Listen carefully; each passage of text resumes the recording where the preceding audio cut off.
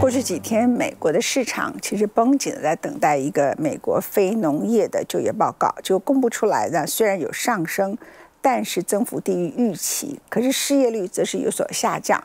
即使如此。我们看到高科技股还是在崩跌，所以我们下了一个标题：美国是迎来新的股灾，还只是进行修正？特别是 AI 股又大崩跌。我们来看周五的美国股市，周五的美国股市分别跌幅百分之一点零一 n e s t a 就跌了百分之二点五五。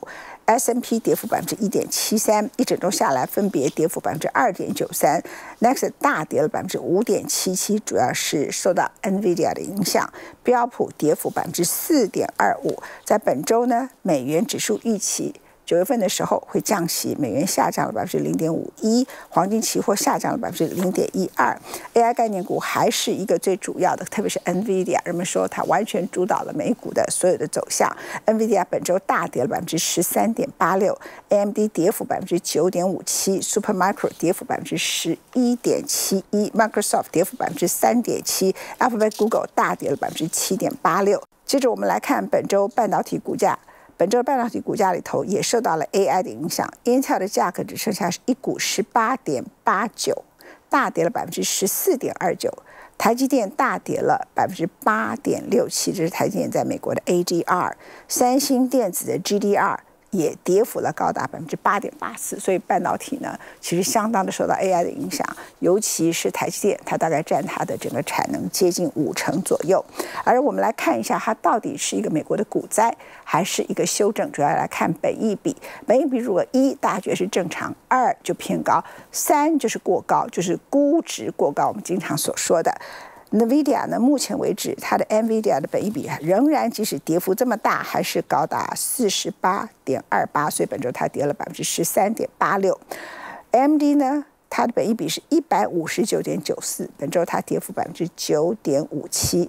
台积电呢，它的本益比是二十七点七六，在这一次的跌幅之前，它是三十以上，所以这次跌完了以后，它的本益比还是二十七点七六，仍然是偏高。本周跌幅百分之八点六七。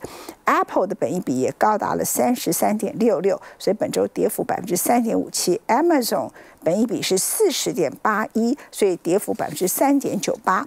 Alphabet 本益比是比较低的，百分之二十一点八六，但是受到了 AI 的影响，本周它仍然大跌了百分之七点八六。Tesla 的本益比高达五十九点零三，本周跌幅百分之一点五八。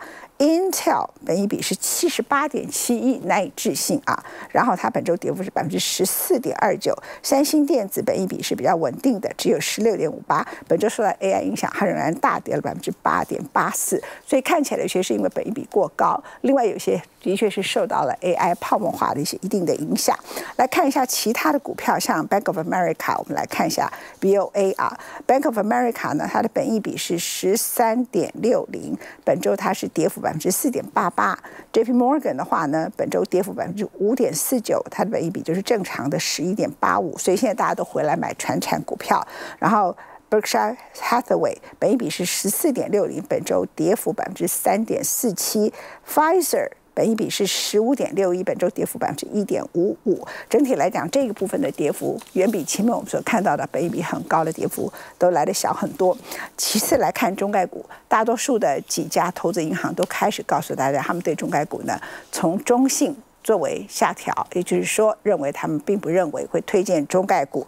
比亚迪本周下跌百分之一点六六。腾讯控股虽然有一个非常受欢迎的游戏，仍然下跌了百分之二点二五。阿里巴巴下跌百分之二点五九，而拼多多过去被认为可以跟阿比阿里巴巴一拼的，本周也下跌了百分之二点九二。在本周的雅股，我们来看一下是否是一个全球性的股灾。日经指数下跌了五点八四，韩国综合指数下跌了百分之四点八六，台湾加权指数下跌了。百分之三点七四。其次，我们看香港恒生股市下跌了百分之三点零三。印度呢是表现最好的，只下跌百分之一点四三。另外，新加坡海峡指数很厉害，在全球股灾里头，它还上涨了百分之零点三四。待会儿回到文献的世界财经周报，我们要特别专访杨颖超。